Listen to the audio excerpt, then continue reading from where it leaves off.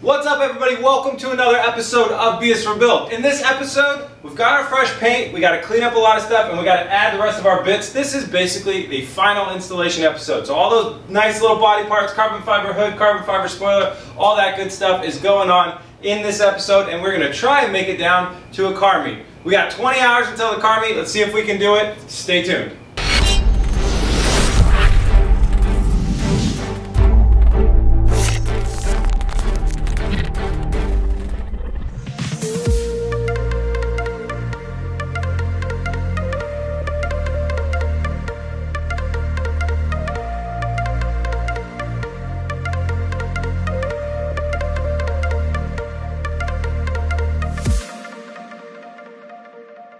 Check this hood out. Now, we have a little bit of panel gap. I'll work on fine tuning that, but for now, just bask in the glory of all this expensive ass carbon fiber. This thing weighs um, one and a half pounds.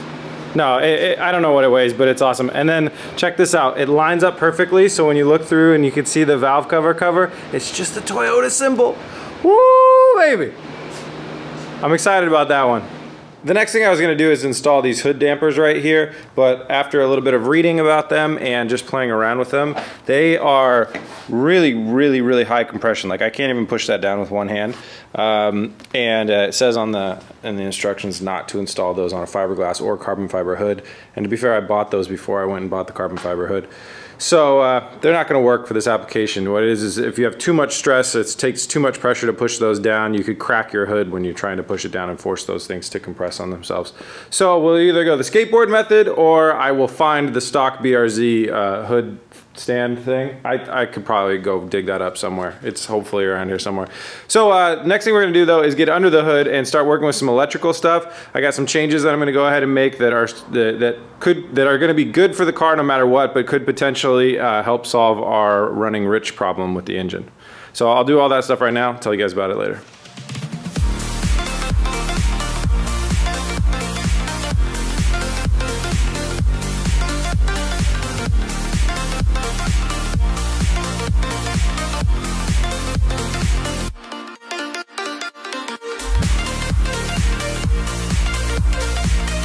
All right, well, besides electrocuting myself, that all went pretty well. Um, here's what's up. Uh, what I was doing there was basically kind of improving the electrical system a little bit and, and changing some things around. So obviously the car's been running really rich um, and that's all controlled by the MAF and especially when the car flips over to using fuel maps when we're in the high boost range, um, a lot of that has to do with the MAF. So what we wanted to do is obviously this being an electrical unit, the MAF could be bad, but it also could be other things that are my fault. Like for instance, not enough grounds. So what I did was I jumped underneath the car and, and added three more grounding points to the chassis. Then up top on the battery, I added another chassis grounding point to the battery. We had one, but we added another one. So that should help um, if there was, there can be what's called like just uh, electrical noise. So this wire going from here all the way back to the ECU, if it doesn't have enough good grounding points, that signal can get scrambled, it can get mixed up, or it could just um, be going crazy and then the ECU could notice it's going crazy and then go into a fail-safe mode where it would run really rich. A lot of running rich scenarios like that could just be that the ECU is in a, in a safety mode, just trying to keep the car safe. So that is all improved. Oh, the other big thing that we did as well though is I hooked up, so the Aristo ECU has its own wires that run through the loom to go to the alternator. And for some reason I decided to put the BRZ ECU on the alternator, which I don't really know why I decided to do that. I guess, you know, the light under the dash would work um, if I did that. But anyways, it should go to the Aristo one. So that's the other thing that I did is I plugged the Aristo loom into the Aristo's engine alternator. That way um, it knows exactly how much voltage it's getting and all that other stuff. It knew before, but now it will know through its own channels and everything like that. I think that might make it a lot more happy as well. So uh, the next, some of the next things that I'm gonna go ahead and tackle under this engine bay are the air filter. And now this may get dirty, guys. I don't know how this is gonna work. So in the long run, we're going single turbo. Oh, I got a single turbo. I forgot to include it in last, uh, last episode. Here it is.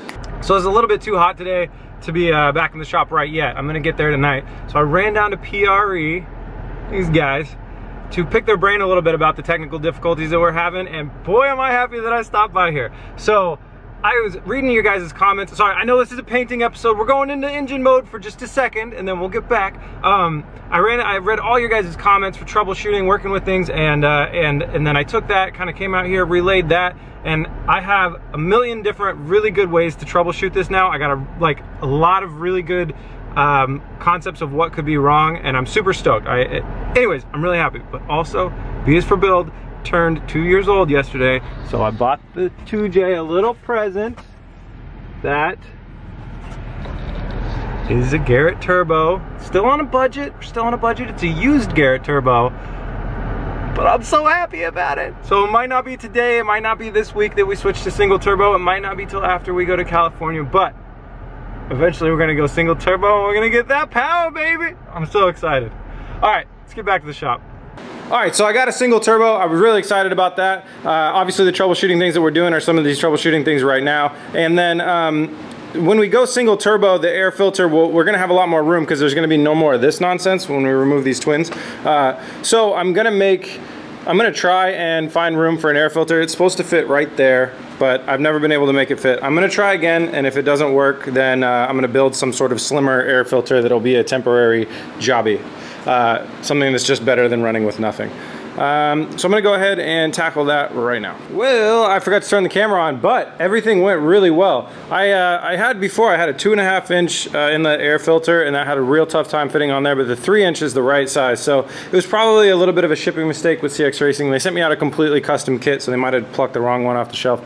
So three inch, works perfectly. Fits in there nicely. I'm super stoked that that went easily and i didn't have to like build my own. I also did a um, uh, overflow tank reservoir uh, down there. And yeah it's a it's a diet coke bottle. But um, the idea is that there might be some fluid coming out of there at certain times and then wants to go back in, so you want to have some back pressure fluid. That's the way the 350Z was, and it started working really well after that. Although I will say, I haven't had any cooling issues after I fixed that leaky line back there. I haven't had any cooling issues, but you know, better safe than sorry. We're gonna be driving to California, very hot weather.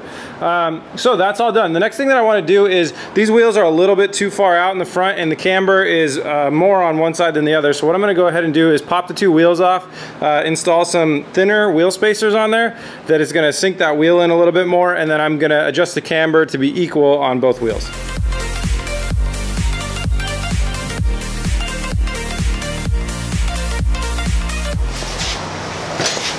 Quick change of plans. I'm gonna go ahead and upgrade the brakes while we're in here. I mean, now I gotta take this wheel back off, but uh, these are Hawk Performance pads. They're really good. They sound like hell. They sound like your car has no brake pads left, but they stop really, really well. I did some research and found out that the bias, the brake brake bias, for those of you that don't know, when you add a, a heavier engine in the front, you want more braking power in the front to kind of even it out so you brake evenly. If you add in these pads only in the front, you get an evened out brake bias, which is good. So uh, I'm gonna go ahead and upgrade these. They'll help, up, help out our stopping power, which will lead to overall better performance and a little bit more safety. So yeah, pop the wheel back off, swap out the brake pads, throw everything back on, and then do the other side.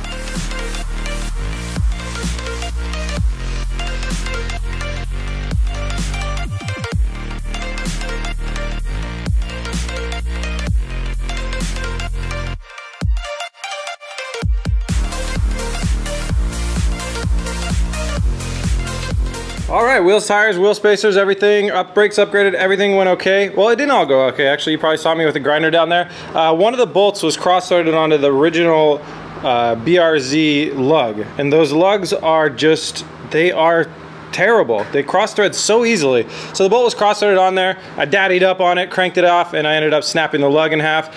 But luckily, I didn't need that much of the lug. I didn't need all the thread depth. So uh, I cut off the part that was cross threaded. So it was just cleaned uh, and cleaned up the threads and then threaded a bolt back on, no cross threading. So everything's on there properly, that's all good. Just one lug underneath is a little bit shorter than the rest, which won't really cause any problems when it's that close to the hub. So we're all good there. Um, uh, what's next? All right, next up, I'm gonna go ahead and throw the fog light inserts in the front grille on this bumper, get everything kind of tightened down and stuff. I wanna find a better way to attach those fog light inserts and I will do that. And then uh, we'll go ahead and throw that on the car and finally like do the final mounting of the front bumper on the car.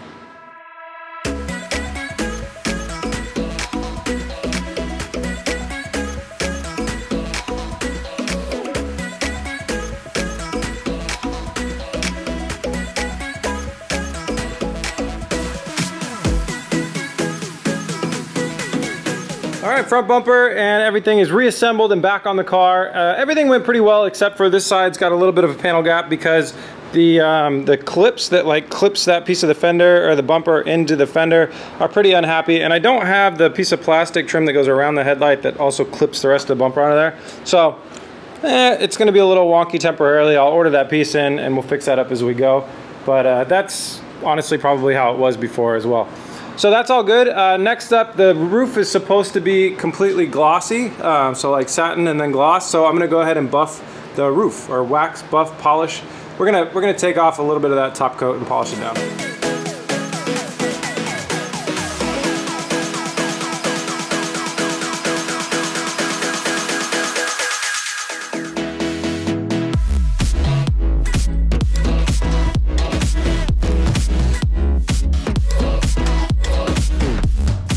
Roof is done. Looks great. Uh, Chelsea's right now working on uh, cleaning up the side skirts. So the side skirts will match the roof and then the, the lip color up here with those two, it's all gonna be that gloss. In the meantime, I'm gonna roll us around to the back and I'm gonna install our new taillights. You guys are really gonna like these, these new taillights. Let me install them and I'll show them to you guys.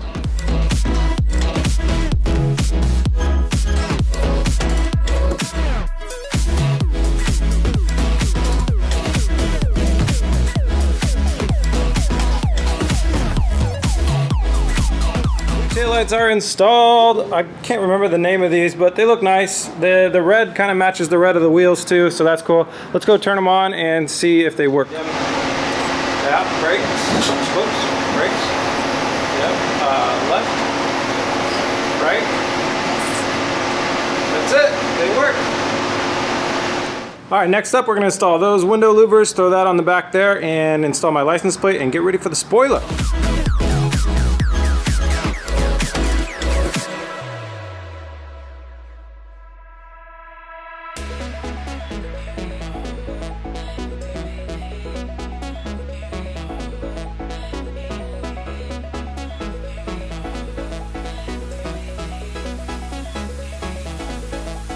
There we are, DIY window louvers, looking pretty fresh. They look, they look good. They, they, they're bouncing the light the right way. Uh, last thing that we're gonna do, carbon fiber spoiler, coming right up.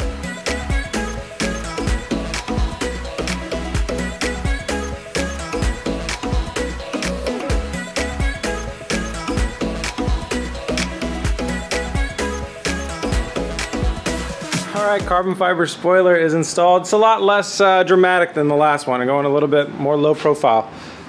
Maybe, maybe I, I really like the ducktail, like the little bit more intense look. So I might, I might get something more intense a little bit later.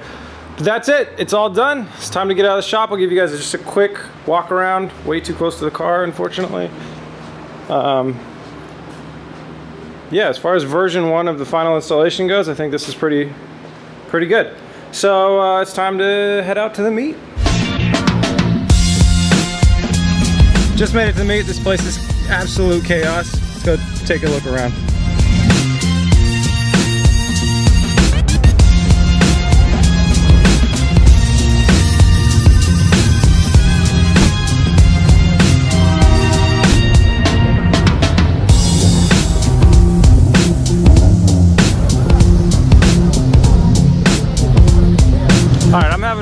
Hanging out, talking with people here, so I'm just gonna do a little montage. Chelsea's gonna walk around with some cameras, we'll hang out, and then I'll come back later.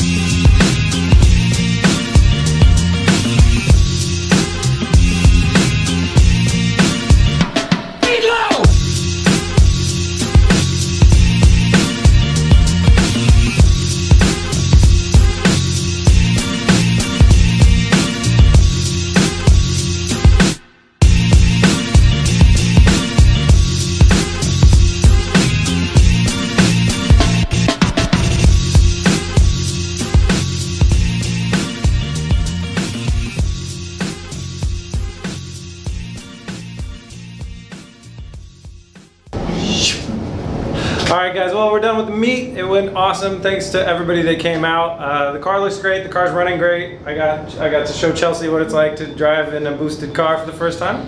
Very fast. It's scary to her. Um, so that's where I'm gonna end this episode. In the next episode, we're heading down to California to uh, go beat TJ Hunt in a little bit, of a little race. So that's it. Thanks for watching. Uh, if you want to catch us in more places, find us on Instagram. And sorry, we're walking into a restaurant right now. find us on Instagram, B is for Build, Twitter, B is for Build, Facebook, B is for Build. What's the other thing? Buy my merch at bisforbuild.com. Scroll down to the shop. All of that supports not me going to fancy restaurants. I swear to God, it just supports just the builds. Um, and uh, thanks for watching. Please remember to like and subscribe. See you tomorrow. Peace.